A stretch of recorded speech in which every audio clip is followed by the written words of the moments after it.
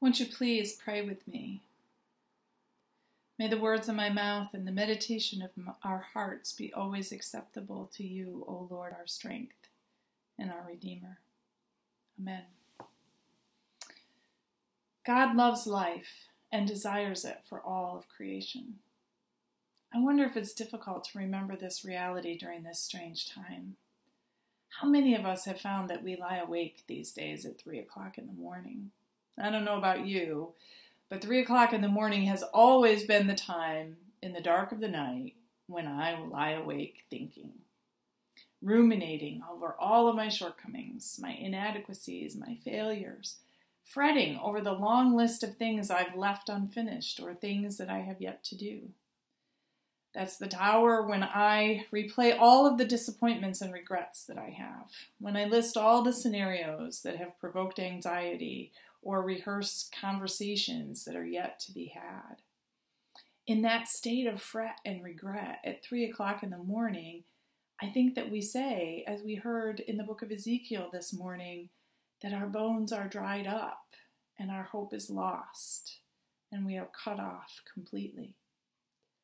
Most of the time at three o'clock in the morning, life seems really impossible.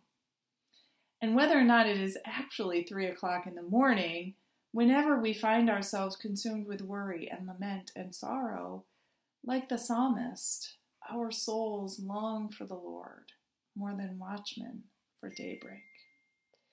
At three o'clock in the morning, it's hard for us to remember that daybreak will come and that God loves life and desires life for all of creation. Now, I'm not sure about you, but I know that in this past week, I've had a few moments when it felt like 3 o'clock in the morning, even though it was only 9 o'clock in the morning or 3 o'clock in the afternoon. I've had moments where I felt overwhelmed by anxiety and frustration and sadness and helplessness. Moments when it was way too easy to get wound around the wheel, worrying about what could happen, or what might happen, or what will happen in those moments, hope seemed very far away. And I'm pretty sure I'm not alone. But there's hope. There's a picture floating around Facebook. It's a picture of a church sign that has a it's a cute little sign. It reads, "Had not planned on giving quite giving up quite this much for Lent." Isn't that the truth? Not only have we been forced to fast in ways that we never could have possibly imagined and scale back everything that we know and love during this particular Lenten season, we've also had to change the way that we seek God in each other and in the world. All of the familiar things our church services, our book studies, our Lenten soup suppers, our grand plans for intensified prayer practices Everything is different now as we adjust to this new reality. At least for now, things are very different than they were. And yet, there is still good news. Even though it's still Lent, I know it is. We are Easter people. We are people of the resurrection. We still are resurrection people. And we believe we know that God is love and God is new life. In 2018, Joan Chittister wrote in her newsletter, and I quote, God is in the newness of life. Newness is where God waits for us to teach us new things. It is, however, the old, the familiar, the routine, the commonplace that we prefer. So we cling. We like to get things right. We like to be in control of our lives. We like surety and stability and predictability. We don't want change. And she continues, but, but, to be invited to begin again, to be ready to start over in life. That is what the practice of Lent is all about. Then, she says, we are free to rethink everything we've done in life and everything we want in life and everything we've demanded from life and get down to the basics the presence of God and trust in the God of surprises. Now, Joan's words were written two years ago. Yeah, how relevant are they today?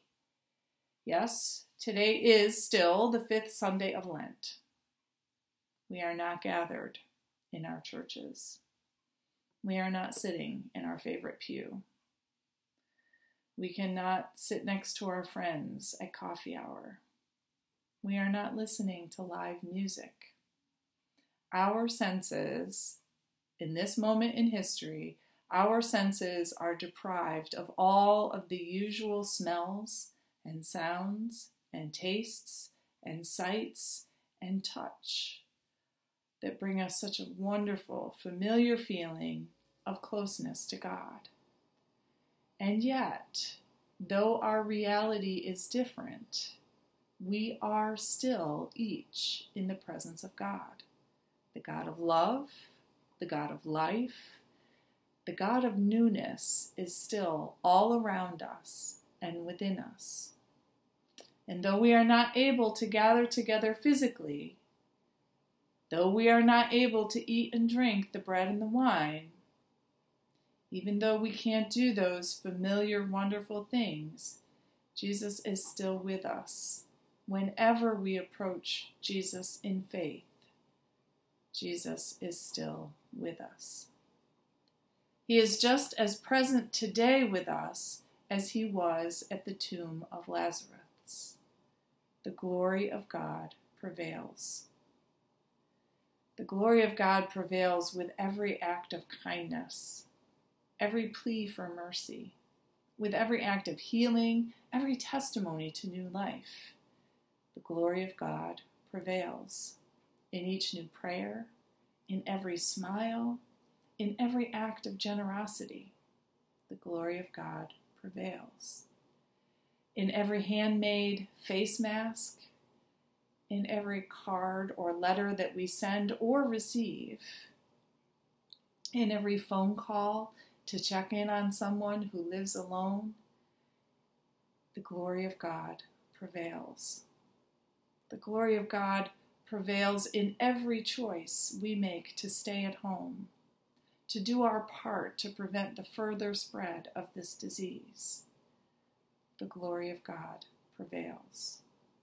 In the self sacrificial work offered by every first responder, every nurse, every nurse's aide, doctor, physician's assistant, nurse practitioner, respiratory therapist, x ray technician, or any other healthcare of any kind, lab technicians, in that self sacrificial work of all of the healthcare providers and chaplains, the glory of God continues to prevail in new ways. Giving all of us, inviting all of us to bear witness, along with Mary and Martha outside the tomb, that God truly loves life and desires it for all of creation. And that is what the practice of Lent is all about.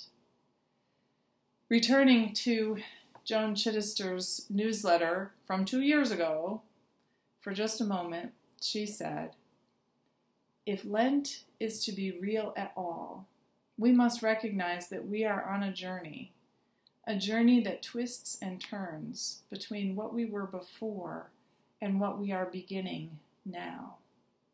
There is no settling down.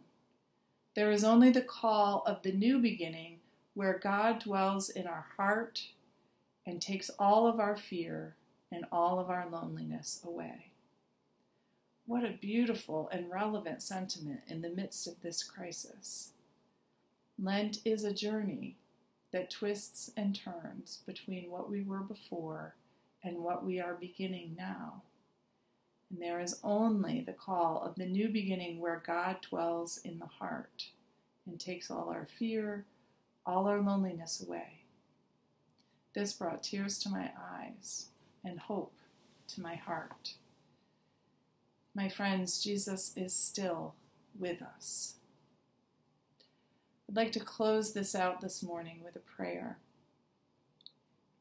Please pray with me. we thank you, Lord, for all the blessings of new life and love that you so graciously bestow upon us. May our hearts remain fixed, despite the swift and varied changes of this world.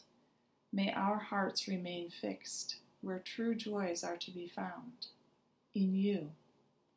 And may you give us grace to navigate the twists and turns of this strange journey and help us to stay focused on the call of new beginning where you dwell deep within our hearts. And take all of our fear and our loneliness. Amen.